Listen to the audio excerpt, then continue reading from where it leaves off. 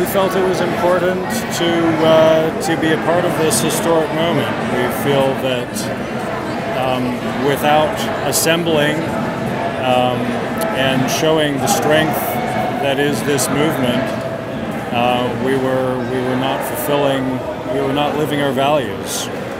Uh, we signed up uh, for Freedom School at the Arch Street Church.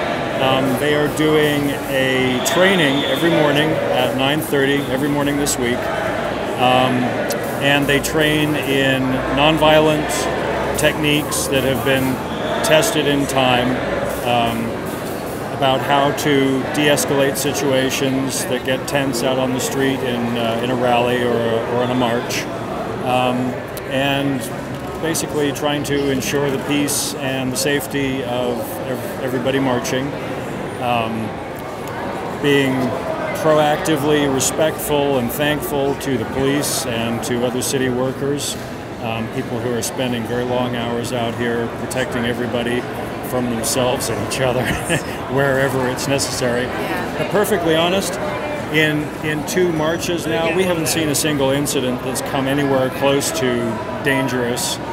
Um, you know, there, there are some people out here who are angry and uh, and who are being very vocal about it. How many do you estimate of the Bernie peacekeepers are there?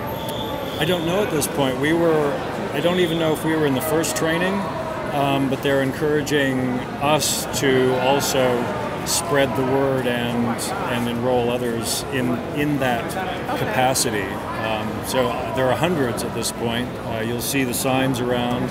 And it's a free training. It's a free training and it's a it's a it's a valuable life skills training whether you're whether you're doing this work here or, or just in your life.